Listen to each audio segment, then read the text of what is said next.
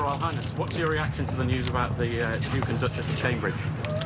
How do you know I'm not a radio station? no, I'm thrilled, marvellous. Very nice thought of, father, of grandfatherhood at my, my old age, if I may say so. So that's splendid. And I'm very glad my daughter was getting better. Thank goodness. Thank you very much.